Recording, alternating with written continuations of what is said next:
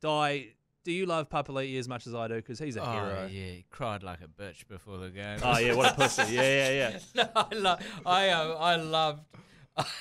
I I love all that emotion that comes out in these like pre-game ceremonies.